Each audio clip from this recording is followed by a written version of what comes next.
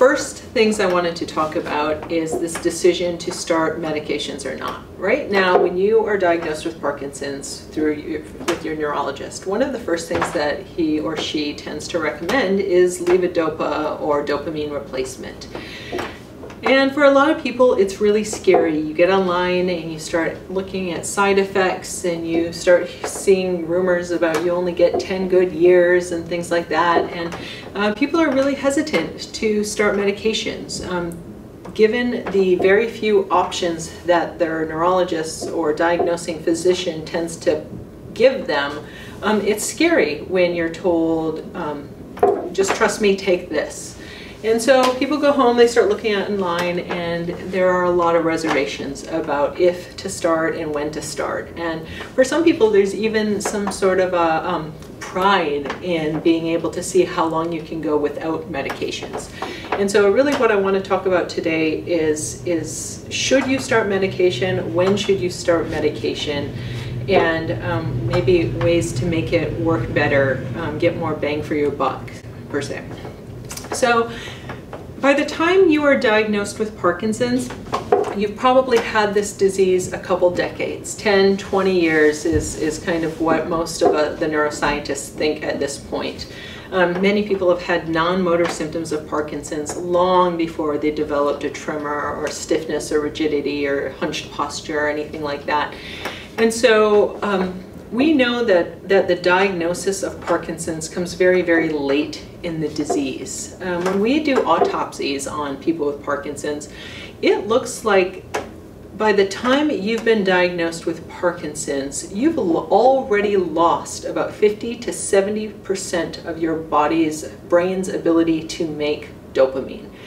So you are coming to this really late um, I know that sounds scary. I also think it's kind of fascinating or almost empowering to realize that you had half of your dopamine production cells gone last year and you didn't even know there was a problem. You don't need them all to be able to do what you need to do. Um, it's not like the goal is 100%. You can actually live a very full, healthy, happy life with only 50% of your dopamine cells functioning. So it's, it's not the end of the world that we're coming to it when we are. Um, but I do want to make sure that you understand that point because there's not a lot of wiggle room. And so uh, one of the things that people come to me as a alternative medicine physician, people come to me wanting alternatives to the pharmaceutical drugs. And I think it's really important to talk about why you would want that, what that means, and is that useful. So the first thing I will say is I think dopamine replacement is important. Um, I've been studying nutrition for 20 years now, and what I like to do is, is kind of think of, of dopamine. I mean, it's a neurotransmitter, right? It's a naturally occurring molecule. And so, so if you were deficient in any other naturally occurring molecule, you would replace it right? You know, if you had a vitamin C deficiency, you would take vitamin C. If you had a B12 deficiency, you would take B12.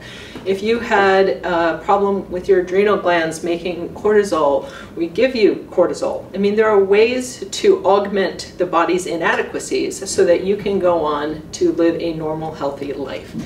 When we tell you that you are deficient in dopamine, it only seems logical to replace dopamine.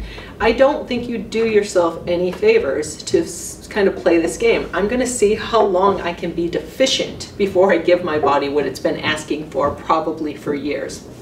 So, you know, I, I think that my personal opinion is by the time when you're diagnosed, I, I think it's pretty important to get started on medications early. Um, we've done some studies, even very, very recently, a study just came out um, that really asked the question, is there a benefit to delaying the start of medications?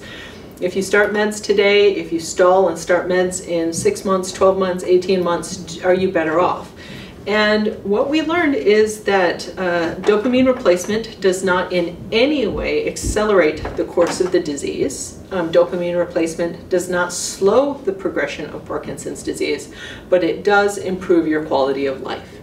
And that's really what we're going for. We are going to address the rate of disease progression as an entirely different topic. Um, what we're talking about here today is improving your quality of life and giving your body what it needs to function. So I think that there, that's a really important point to talk about for people when we talk about treating Parkinson's or what are you doing for your Parkinson's or people email me, what supplements should I take for Parkinson's? I think it's really important to, to think about these as very different questions. Um, how do you treat the symptoms of Parkinson's is a very, very different question than how do I stop this disease from progressing. So, so when today's topic, this has nothing to do with progression. We are going to uh, address that topic entirely separate in a different video. Today we're just talking about hiding your symptoms, treating your symptoms adequately so that you can get on with your life and improve your quality of life.